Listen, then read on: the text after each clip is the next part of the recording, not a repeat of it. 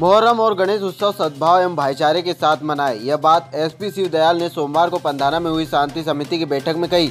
इस मौके पर विधायक राम दांगोरे सहित जिला शांति समिति के सदस्य उपस्थित रहे। बैठक को संबोधित करते हुए एसपी शिव दयाल ने कहा कि मुहर्रम और गणेश उत्सव का त्यौहार, भाईचारे का त्यौहार है सभी त्योहारों को सद्भाव एवं शांतिपूर्वक, प्रेम एवं शांति के साथ मनाए। आपस में किसी प्रकार की कटुता न रखे।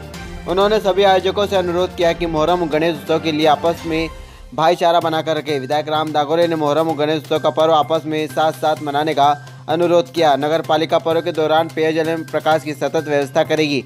वहीं एसपी दयाल ने कहा कि पर्व के दौरान कानून व्यवस्था बनाए रखने के सभी उपाय किए जाएँगे एवं कानून व्यवस्था बनाए रखे।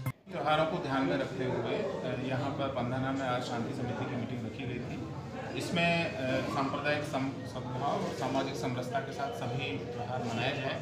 इसके लिए जो जो आवश्यक कदम उठाए जाने हैं सबसे चर्चा की गई सबसे सुझाव लिए गए जो सुझाव आए हैं उनके आधार पर आगे व्यवस्थाएँ की जाएँगी ताकि शांति बने रहे। किसी तरह की कोई असुविधा या परेशानी किसी को नहीं हो। थैंक यू सर एक प्रश्न